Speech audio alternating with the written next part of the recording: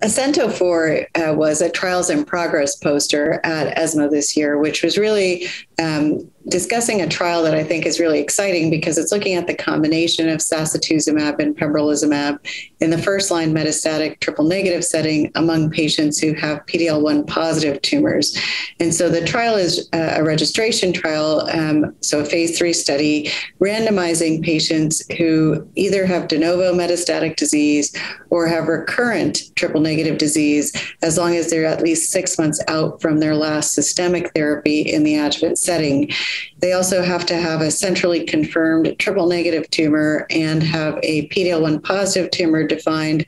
by central testing with a combined positive score greater than or equal to 10. Uh, and then they're randomized to receive either sacituzumab with pembrolizumab or to receive chemotherapy of physician's choice with pembrolizumab, where the choices of chemotherapy could be either paclitaxel or nab-paclitaxel or carboplatin plus gemcitabine.